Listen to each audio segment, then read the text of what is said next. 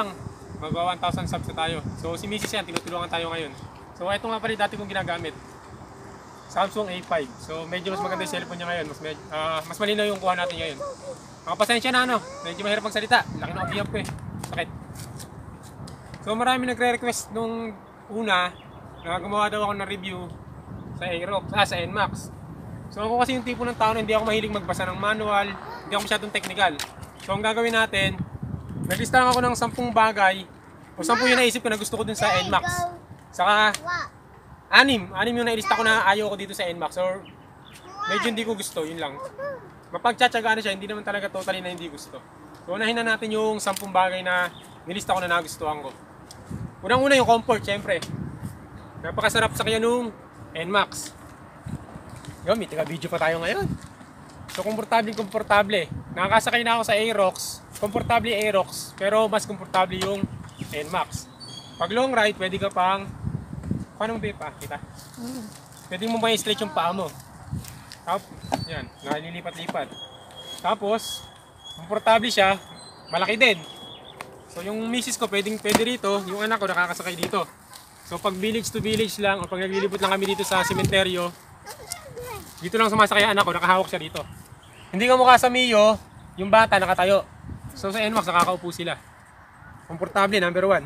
Ah guys, hindi pala sunod-sunod to ano. Basta kung ano lang yung naisip ko, yun agad yung nilista ko. Wala siya, ano siya, random. Hindi siya sunod-sunod. Stable, bakit stable? Sinabi ko. Kasi kung napanood nyo isang video namin, nag-testing kami ng top speed ng NMAX. Tumakbo siya ng 113, pero stable na stable pa rin yung motor. Walang wiggle, hindi ka kakabahan na parang baka dumulas or parang maglikot yung manibela na ganun. Mauga, walang ganun. Stable stable. Para ka lang din tumatakbo ng 80, ganun lang. Ah, number 3, na nailista ko, elegante siyang tignan, hindi magastos. Bakit? Kasi ang ganda na niya, parang ah, masyadong luho na lang pag pinaglalagyan mo pa siya ng kung ano-ano accessories. So yung mga may extra pera, pinapaganda pa nila lalo. Pero para sa akin, kahit may extra pera ako, okay na siya, wala ka nang babaguhin. Hindi ka mukha ng ibang motor, lalo na yung motor ko dati, NMAX, N MX, lagi, ko nagka, lagi ako nagkakamali. MX. Napakadami ko kinatigot, lahat binabago ko. Dito, kahit wala kang baguhin, maganda na siya agad. Yun, number 4 na nilista ko, mabilis, sakto lang sa gas. So sanay ako sa kargadong motor guys. Kargadong motor, magastos sa gasolina. Minsan pumapasok ako mula bahay hanggang BSU, gasolina ko isang daan. Balikan yun, BSU lang. ano lang yun, 24 kilometers lang, takaw sa gas. Yun yung experience ko ha. Pero sa NMAX, 40, 50 pesos, sobra-sobra pa. So matipid. Kung ikukumpara mo siya sa Mio Soul I, sa Wave Dash 100, talaga mas matitipid yun. Kaso nga yung NMAX, may bilis siya, may arangkada. So yung gasolina mo, sulit na sulit siya dun sa tinatakbo. Para sa akin, hindi siya, ano, hindi siya malakas sa gas. Saktong-sakto lang. Bulsa. Ito isa pang gusto ko, yung bulsa malalim. So madalas nakikita nyo, nagbibideo ako. Nagmumotor ako, nagbibideo ako, di ba? So nilalagay ko lang lagi yung, yung cellphone ko sa bulsa. Ang lalim niya, hindi siya nalalaglag. Pag dito-dito lang, ganyan lang ginagawa ko. Yung cellphone ko nandito sa bulsa, hindi siya nalalaglag. Huwag lang siguro pag long ride talaga. O huwag ka lang malulubak talaga ng matindi. Ang lalim niya, oh. Ganyan kalalim. Sakto-sakto cellphone. So, pag nakikita nyo ako sa cellphone, nagdadrive, pag-aalanganin nyo, susunod ko lang dito yung cellphone. Kaya safe na safe pa rin tayo. Pag may traffic or may tumatawid, bibitaw ko kayo cellphone, shoot lang dito. Ganun lang. So, number 6 na, na ano ko, na nagandahan ako sa NMAX, ito upuan maganda. Hindi mo na kailangan papalitan ng balot, hindi mo na kailangan patabasan. Yan na siya. Kung ano binili mo siya, yan na, okay na. Yun. Number 7 ang nilista ko, malapad yung gulong. Napakalapad ng gulong ng NMAX. Pwede ay na lang paano. Napakalapad ng gulong niya. Hindi mo hindi kagaya dati sa mga Mio natin. Para lumapad yung nang ganito yung gulong, bibili ka pa ng malapad na gulong, di ba? Magpapalit ka pa. Ito, malapad na siya agad. Sakto-sakto to sa mga kagaya natin na hindi magaling sa kurbada or sa banking kasi safe na safe ang lapad. Ako di ako magaling sa kurbada guys. Pero pag sa diretso, pagising kita. Yan. Gulong, maganda, malapad. Number 8, ABS, disc brake. So, pareho siyang disc brake. Magandang tingnan, naka-disc brake pati likod. Tapos ABS na rin. Ngayon ko lang na-experience guys.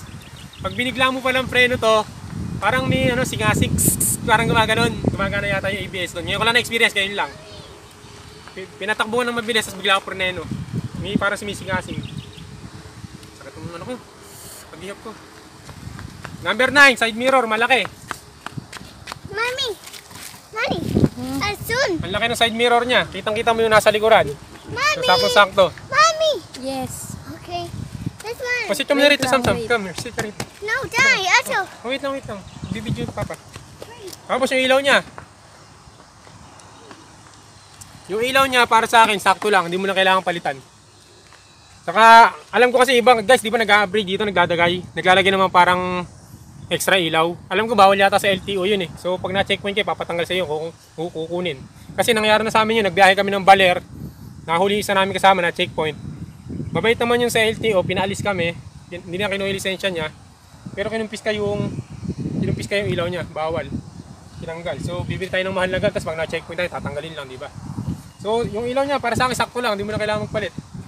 Pag kinumpara mo talaga din sa mga ina-upgrade, talagang malakas yun. Pero pag sa oh, stock to stock ng mga motor, sakto-sakto lang to. Digital gauge. Yung di, ah, itong di, ano niya, digital gauge. Hirap magsalita, may agay pa kong sakit. Kita ba ba? Ito. Naka-digital, ano na siya agad, digital, di mo na kailangan mag-upgrade. Tapos, para sa bisikleta, kasi sabay kasi guys, naglalagay kami ng speedometer para nakikita namin yung tinatakbo namin. Dito meron na rin. Saan ba yun?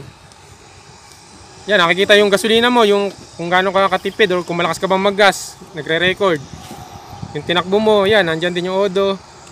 Ito, ito yung nare-record yung biyahe mo, pwede mo i-record. Yan, pinatay ni Sam Sam. With the name. Wait lang, baby. Six. Yan, dalaway trip. So, okay na okay yung digital gauge para sa akin. Yung ano niya, milyahe ba tawag dyan? Hey, get me. Mommy, hurry. Wait lang. Sige, dyan ka lang, baby. Huwag mama. Sige, saan ka lang. Enjoy ko din. So, nasabi na natin yung 10 na gusto ko sa NMAX. So, naglista ako. Naglista ako ng, anim yung nailista ko na medyo ayaw ko lang naman. Yung minor issue lang or minor na ayaw ko lang. Hindi siya, ano, hindi siya totally talaga big deal. Hindi siya talaga totally big deal para sa akin. So, ito, total, nakasakay na si Samsam sa motor.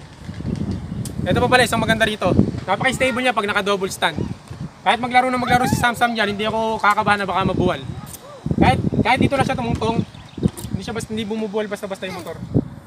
Hindi ka mukha ng iba naming motor dati. Pag sumakay yung bata, kakabahan ka na kahit naka-double stand, baka bumuwal. Siya hindi. Napaka-stable ng motor na to. Yung number one na nalista ko rito, sa ayaw ko, medyo matagtag. Ngayon ko lang nar- naramdaman kasi medyo matagal na sa amin yung motor. Pag medyo hindi maganda yung kalsada talaga, mararamdaman mo matagtag yung shock. So, ano lang naman yun, okay lang din.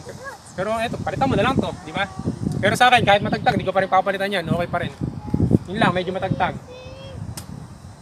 Yung harap niya, medyo ma-vibrate. Lalo na itong visor, medyo ma-vibrate. Tapos itong, yun, yung side stand, buwalin. Kaya marami nagko-comment sa Facebook, sa group, sa YouTube. Nag, yung iba nag-comment agad sa akin na huwag ako magsa-side stand.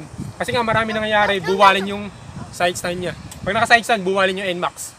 So, lagi ako naka-center stand lagi. Hindi ako nagsa-side stand. Hey. Wait lang, yung bang masira? Hey, get me. Isa pa, number 4, na nalista ko, yung manibela. Lagi ako nahihirapan i-lock. Pag itatagilid mo, ilalak mo. Be, dito ka. Yan. Ilalak natin na ganyan. Medyo kinakapa ko pa. Kakapa mo pa para malak. Lalo may makulit na bata. Yun. Nakalaki manibela. Medyo kakapay mo pa ng konti para may lock. So,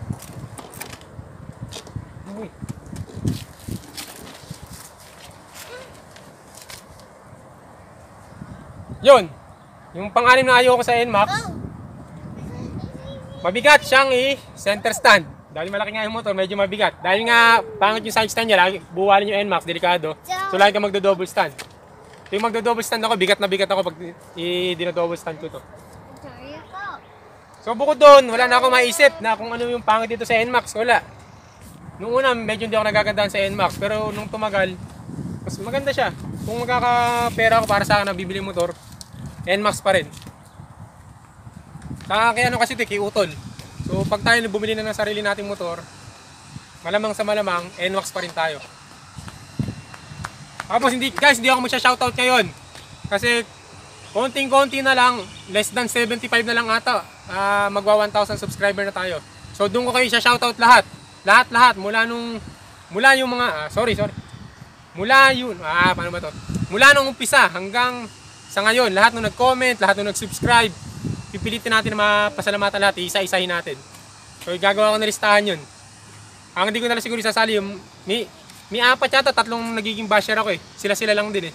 So yung, ah, yung tatlo na yun, or apat na hindi na natin sasali. Pero lahat kayo nag-comment, lahat kayo nag-subscribe, lalo na yung mga unang-una, sina, sina Mr. Shaker, si IM. Yan, yan yung mga unang-unang nag-comment mula nung nag-motovlog tayo. Papasalamatan, papasalamatan natin kayo lahat. So sabay-sabay kayo lahat, pati yung mga nagpapa-shoutout. So isang request pa pala guys.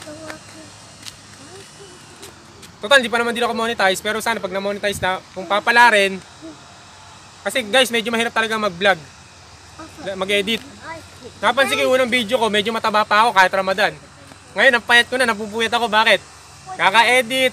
Tapos mahilig ako mag-reply sa inyo. Kahit alas 12 ng gabi, alas 6 ng umaga, pag ano ko, nagre-reply agad ako.